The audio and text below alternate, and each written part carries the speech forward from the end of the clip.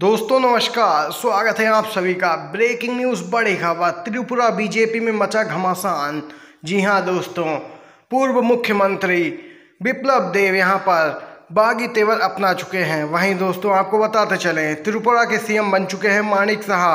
आपको बताते चले दोस्तों, त्रिपुरा में बीजेपी ने अपनी स्थिति भांप ली थी और यहाँ पर बड़ा बदलाव किया है। त्रिपुरा के नेतृत्व में ही बदलाव कर दिया है। अब यहाँ पर मुख्यमंत्री तो बदल दिया गया है। भारतीय जनता पार्टी के केंद्रीय नेतृत्व की ओर से, लेकिन दोस्तों, बीजेपी की चुनौतियाँ यहीं पर ख़त्म होने का नाम नहीं ले रही। इस समय एक बड़ी खबर निकल के आ रही है त्रिपुरा से।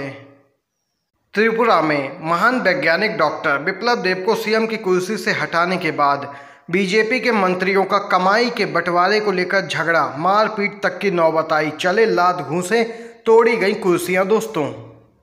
दोस्तों, मुख्यमंत्री बदले जाने के बाद यहाँ पर कैबिनेट विस्तार होना है। उससे ठीक पहले पूर्व सीएम के कार्यकाल में मंत्री रहे बीजेपी के नेता यहाँ पर अब कमाई के बंटवारे को लेकर झगड़ा करने लगे हैं और इसी प्रकार का मामला सामने निकल के त्रिपुरा से आया है।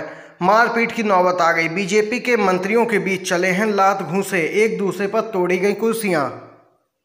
दोस्तों, पूर्व मुख्यमंत्री विप्लव देव और नए सीएम बने डॉक्टर मानिक साह के समर्थन वाले मंत्रियों के बीच यह झगड़ा देखने को मिला है त्रिपुरा में। कमाई के बंटवारे को लेकर इन्होंने आपस में ही जूते चप्पल चलाने शुरू कर दिए, जिसमें यह दोनों अब पुलिस थाने पहुँच गए। फ़िलहाल दोस्तों, इन दो मंत्रियों के नाम अभी तक सामने निकल के नहीं आए हैं, लेकिन यह बात तय है कि बीजेपी के अंदर जो घमासान मचा है, अब वहाँ पूरा देश देख रहा है, जिसके चलते बीजेपी एक के बाद एक राज्यों में बदलाव करने में लगी है।